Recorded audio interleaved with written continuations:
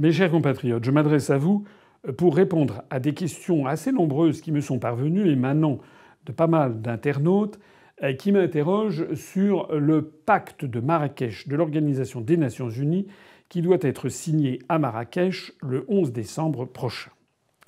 Ce pacte concerne euh, un pacte sur les migrations au niveau international et suscite beaucoup d'inquiétudes et beaucoup de rumeurs.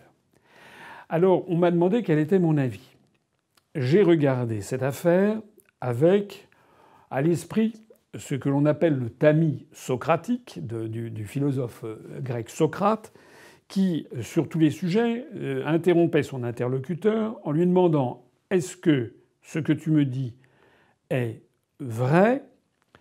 Deuxièmement, est-ce que c'est utile? Troisièmement, est-ce que c'est bien? Est-ce que c'est bon? On va regarder ce pacte ensemble. Ce pacte de l'ONU sur les migrations s'appelle le pacte sur les migrations internationales, c'est les migrations sûres, ordonnées et régulières. C'est assez étrange. On a, certes, ce pacte n'est pas d'application obligatoire, c'est ce qui est mis euh, ultérieurement. Mais si ça n'est pas d'application obligatoire, à quoi sert-il? Ça n'est pas vrai qu'un document international, c'est un traité, que ça s'appelle PAC, que ça s'appelle Constitution européenne, traité, euh, etc. Dans tous les cas de figure, ce sont des traités internationaux qui lient les États qui les signent puis qui les ratifient. Donc, on ne peut pas dire que le pacte est d'application facultative, puisqu'on va le signer et le ratifier. Ça veut donc dire que même si un certain nombre de ces dispositions sont facultatives, il n'empêche qu'il pose un certain nombre de principes généraux qui vont ensuite servir de référence pour l'avenir. Le premier principe général qui est posé par ce pacte, c'est qu'il s'agirait de régler des migrations sûres, très bien, ordonnée, c'est déjà plus contestable parce qu'on a l'impression qu'il y aurait un ordre derrière, donc une organisation, et régulière, c'est-à-dire qu'il y aurait une organisation qui régulièrement organiserait des migrations. Ça pose quand même un problème. Ce qui est véhiculé par ce texte, c'est l'idée selon laquelle, eh bien, au XXIe siècle, il y a nécessairement des migrations de population qui doivent être ordonnées et régulières.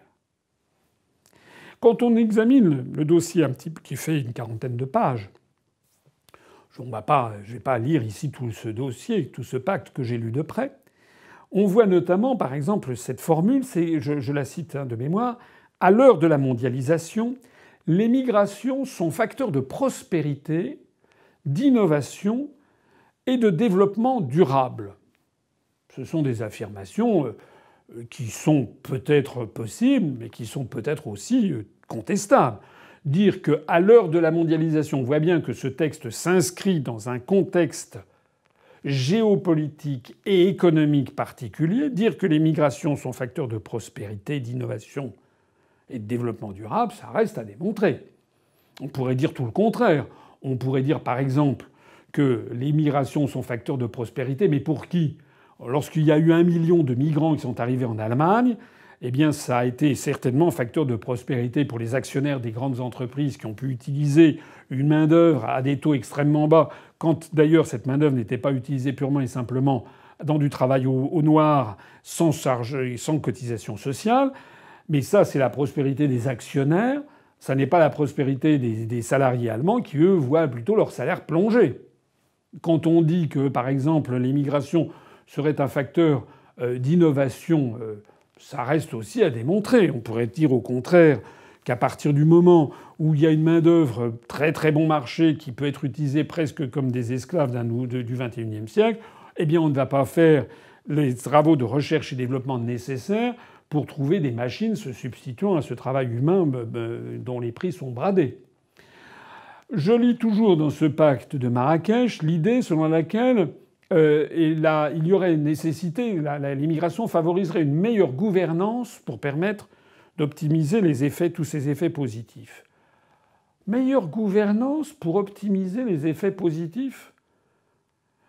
Je suis désolé, mais quand on lit ce pacte, on a effectivement l'impression, c'est même plus qu'une impression, que c'est un document qui se situe dans un contexte idéologique particulier, celui de la mondialisation, celui de l'effacement des frontières, celui selon lequel finalement les mains d'œuvre, l'homme, les hommes et les femmes sont des, de simples pions euh, à exploiter, à transférer d'un pays à un autre pour les exploiter au maximum pour le plus grand profit des actionnaires. On ne tient pas compte ou peu compte euh, du problème tout simplement de l'identité nationale, de la volonté des peuples d'être euh, ben, voilà, d'être toujours voilà, que l'Allemagne reste l'Allemagne, que la France reste la France, que la Russie reste la Russie, etc. Donc je sais bien que ce sont des choses qui paraissent comme absolument scandaleuses avec, pour, certains, pour certains docteurs de la pensée euh, contemporaine. En gros, euh, en gros, tous les peuples, grosso modo, réagissent comme ça. Ça n'est pas du tout être xénophobe et raciste que de le dire. Il est normal qu'un pays comme par exemple la France, où il y a actuellement euh, au minimum plus de 3,5 à 4 millions de chômeurs, et encore en se limitant à la seule catégorie A, dans un pays comme la France où le niveau de vie ne cesse de dégringoler, il est assez normal que les Français aient un sentiment que de dire c'est pas maintenant euh, que l'on va accueillir de nouveau des flux migratoires importants. D'ailleurs, il y a, d'après les sondages, je crois que c'est 80% de la population française qui est sur cette longueur d'onde. Et encore une fois, je rappelle que pour la Constitution et pour la République, la République, c'est le gouvernement du peuple, par le peuple et pour le peuple. Il faut donc demander au peuple français son avis. Alors moi, ce que je note, c'est que ce document qui doit être signé à Marrakech a fait l'objet d'une polémique qui ne cesse de se développer. Et ce que je vois, c'est qu'il y a un, puis deux, puis trois, puis quatre, etc. pays, et non des moindres, qui ont décidé, au vu du document, finalement de ne pas le signer. Au premier rang desquels, les États-Unis d'Amérique. Alors certains vont dire Ah oui, mais c'est les États-Unis de Trump. Oui, mais quand même, les États-Unis d'Amérique se sont retirés, ne signeront pas ce document. Et puis en Europe, dans l'Union européenne, la Hongrie. Alors je vois d'ici des gens qui disent Ah oui, mais c'est le gouvernement hongrois. Bon, qui a mauvaise presse. Et puis après ça, il y a l'Italie. Alors toujours les gens vont dire Ah oui, mais c'est le gouvernement Salvini. Et puis après ça, il y a la Bulgarie. Alors les gens déjà ne savent plus très bien, parce que il paraît-il que M. Macron est allé en Bulgarie, il trouve ça très très bien, il s'est entretenu avec M. Borisov, là, le Premier ministre. Bon. Et puis il y a la Slovaquie, qui a refusé de signer. Et puis voici que c'est la République tchèque qui refuse de signer. Et puis voici que c'est la Pologne. Et puis que c'est l'Autriche. Et puis que c'est la Belgique et puis que c'est en dehors de l'Union européenne que c'est Israël qui a refusé de signer, qui refuse de signer. Et puis l'Australie. Donc maintenant, il commence à y avoir. La Suisse, paraît-il, serait même au bord de refuser de signer. Donc maintenant, on a 12, 13, 14 pays, la liste s'allonge, de pays qui refusent de signer ce document en l'état, parce qu'ils estiment qu'il il véhicule une pensée idéologique et géopolitique qui n'a pas à être imposée par l'Organisation des Nations Unies, même si dans le texte on trouve l'idée que chaque pays reste souverain et ci et ça, parce que dans tout ce genre de texte on trouve toujours des choses qui disent une chose et son contraire, mais l'essentiel c'est l'existence même de ce texte et l'esprit général qu'il imposerait, puisqu'une fois qu'un pays aurait signé puis ratifié, on pourrait lui dire Mais attendez, vous êtes d'accord sur le fait qu'il doit y avoir une gouvernance générale au niveau mondial pour organiser des migrations sûres, ordonnées et régulières. Alors, vous connaissez l'Union populaire républicaine. Dans le programme qui est le nôtre depuis des années, j'ai toujours dit que sur trois grands sujets, qui sont l'énergie, les dettes, la dette publique l'immigration, nous, nous ferions un grand débat national pendant plusieurs mois en laissant s'exprimer tout le monde et ensuite on demanderait au peuple souverain ce qu'il veut. J'estime que les conditions actuelles ne sont pas réunies pour que la France signe ce pacte. D'abord, ce pacte, pour reprendre ce que disait Socrate, ce pacte n'est pas utile. Ce pacte n'est pas bien parce qu'il arrive au pire moment alors que les passions sont extrêmes sur ce sujet dans tout le continent européen. Et ce pacte n'est pas vrai, n'est pas juste, parce que ça n'est pas vrai. En tout cas, c'est extrêmement contestable que l'émigration, dans l'absolu, favorise la prospérité, favorise l'innovation, ça favorise la prospérité de certains, des négriers, pour dire les choses telles qu'elles sont, mais c'est au détriment souvent de l'exploitation des populations.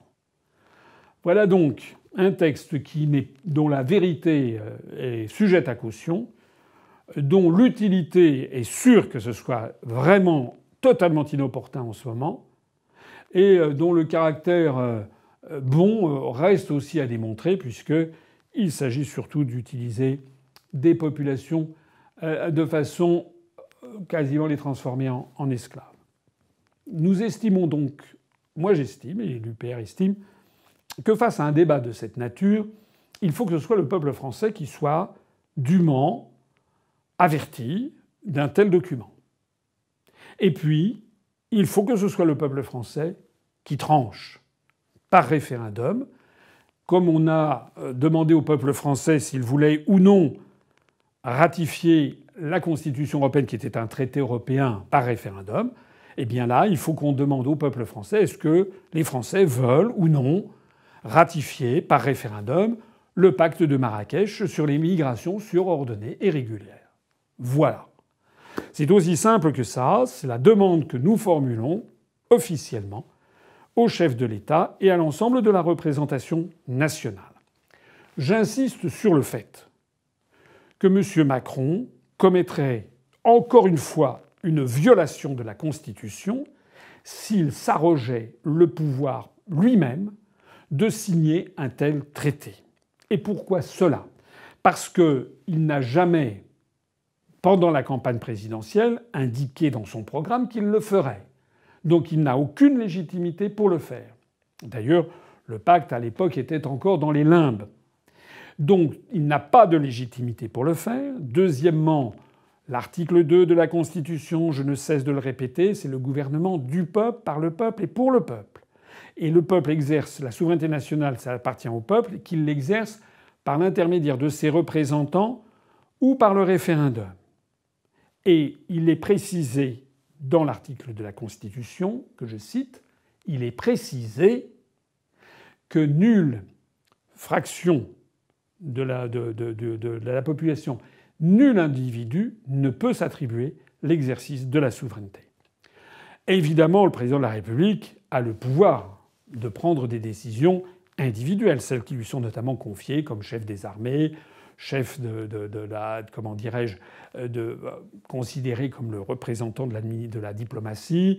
Avec le Premier ministre qui est le chef de l'administration, ils peuvent prendre des mesures individuelles, bien entendu. Il peut mener des politiques. Mais sur des sujets aussi structurants que celui-là, M. Macron, j'estime, nous estimons, n'a pas le droit d'engager la population française sans avoir demandé et obtenu son accord dans les formes les plus solennelles qui sont celles d'un référendum.